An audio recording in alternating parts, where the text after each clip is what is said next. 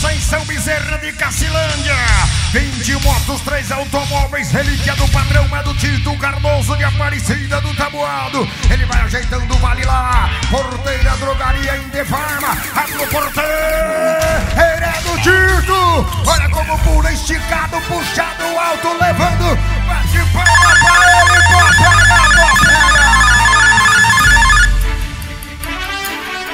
Das grandes egos do plantel do Tito Cardoso.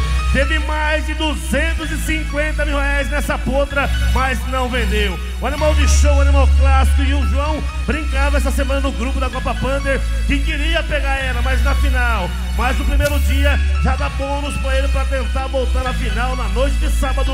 Trabalho concluído de João Batista, ele que já foi campeão lá na cidade de Santa Fé do Sul, aguardando nota do Joãozinho 88.25 para João Conceição.